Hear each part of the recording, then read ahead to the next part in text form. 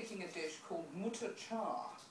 And what I've got here is some onions, which are just gilding in the pan.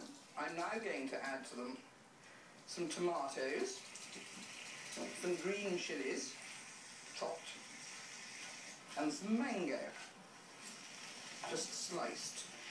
You may think that this is not really a, a camping dish, but in fact you could use everything out of tins apart from the eggs. Uh, you could use tinned mangoes if you had to, but do try not to have them in syrup. Now the thing with mangoes, if you're buying fresh mangoes, you'll never buy them ripe, except occasionally in the Asian shops or down the market. And if you get them non-ripe, the thing to do is put them in a paper bag with overripe bananas and shut them in a dark cupboard or a drawer and then they'll go and ripen. I'm just going to let that cook down a bit.